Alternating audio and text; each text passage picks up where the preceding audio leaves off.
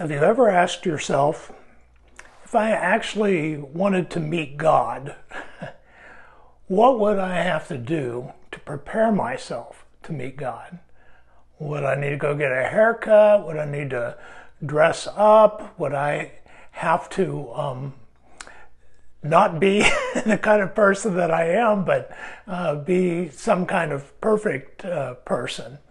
What would I What would I have to change if I were going to meet God?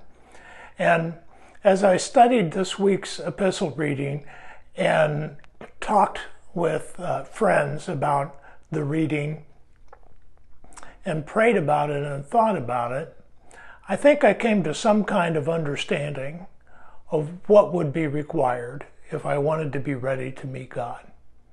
Let me just read to you the epistle reading for this week, 1 John chapter 3, verses 1 through 7. See what great love the Father has lavished on us, that we should be called children of God. And that is what we are. The reason the world does not know us is that it did not know Him. Dear friends, now we are children of God, and what we will be has not yet been made known. But we know that when Christ appears, we shall be like Him, for we shall see Him as He is all who have this hope in him purify themselves just as he is pure. Everyone who sins breaks the law. In fact, sin is lawlessness. But you know that he appeared so that he might take away our sins, and in him is no sin. No one who lives in him keeps on sinning. No one who continues to sin has either seen him or known him. Dear children, do not let anyone lead you astray. The one who does what is right is righteous, just as he is righteous. For Easter, I traveled north to celebrate with my family that lives up that way. And while we were there, we did an outing to Buttermilk Falls Park, which is situated on a 19th century stone quarry. The sandstone from that area was used to build the uh, piers for bridges and um, for building tunnels in the local area. But if you're a big fan of the uh, coastal Im- imagery that we normally share during these meditations, uh, hang tight. We'll be back to the coastal area in, well, probably next week. so, um, but thank you for joining us, and I think you'll enjoy the views of this little park in Pennsylvania. Now, isn't that first verse of this week's epistle reading beautiful? See what great love the Father has lavished on us that we should be called children of God, and that is what we are. But how is it that our being children of God has anything to do with God's love for us? Oh, our sweet Apostle John answers that many times, but the best known of his writings is probably John chapter 3, verse 16. For God so loved the world that he gave his one and only Son, that whoever believes in him shall not perish, but have eternal life. The Apostle Paul, who had, before he became a Christian, he had persecuted Christians.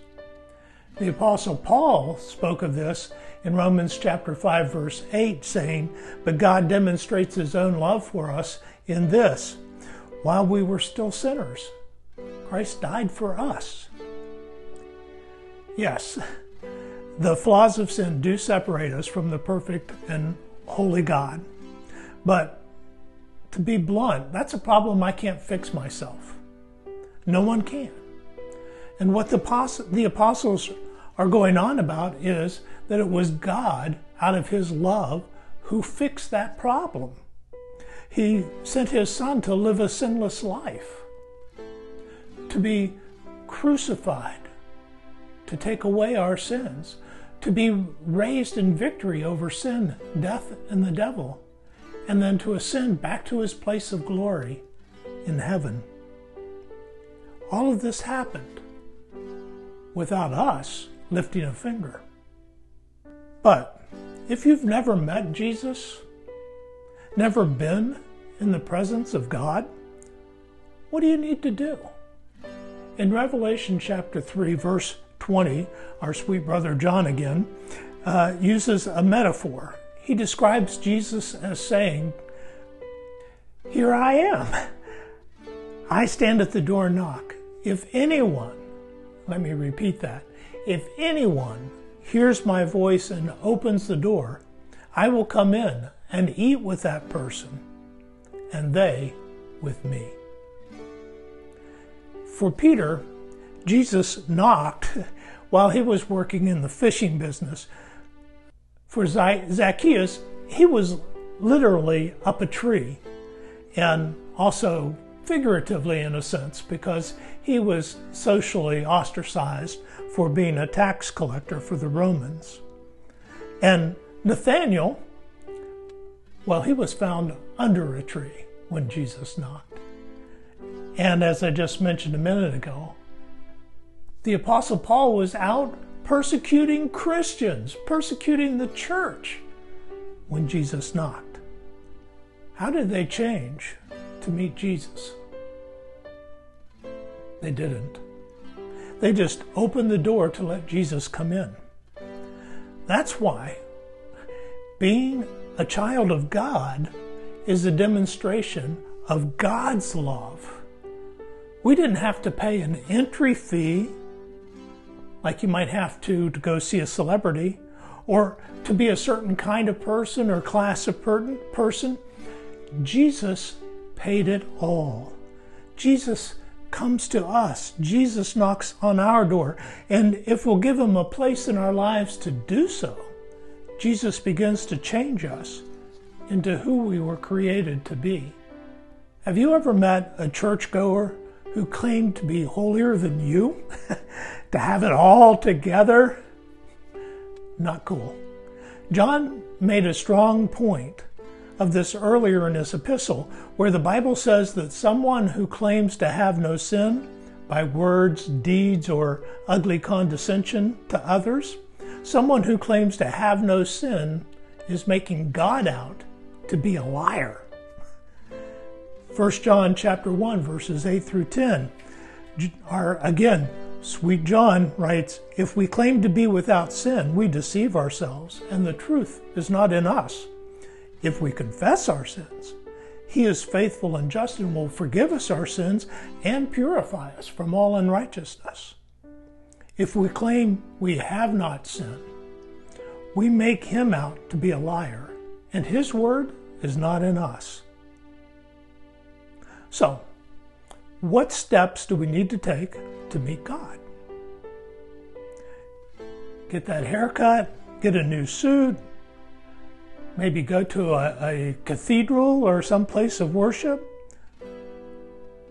run out of the bar or the drug den where we are right now, stop swearing, sit with good posture and our hands folded in our laps. What do we need to do? We need to do nothing but allow Jesus to come in to our lives right where we are, just as we are. He has already paid the price for us to get to know Him and to become part of God's family. Letting Jesus in will change us. for Easter, over 30 members of my family gathered together so the kids could have an Easter egg hunt. And one of the heartwarming moments in that Easter egg hunt was when one of the older kids went to the very youngest, and I think I think Polly is like maybe 18 months old, something like that. And he kind of guided her, turned her so that she could see where the eggs were and was pointing them out so that she could find an egg while all the other kids were swooping in and snatching them away before a little kid could could find them. And that's sort of like what Jesus does. When we open the door that he's knocking on, he comes in and he takes us and he turns us away from the things that were destroying us and dividing us. He takes us and turns us away toward God and God's love and God's justice and God's mercy and God's light and God's truth. He shows us the direction in which to go. He changes us in that way. And as we come closer and closer, our passage says, to that day when either because we have passed on from this mortal, mortal coil, as the old timers used to say, oh, wait, I am an old timer, as we pass on from this life to the next, and see Jesus face to face, this is going to happen. Or if Jesus returns and we see Christ face to face, this is going to happen.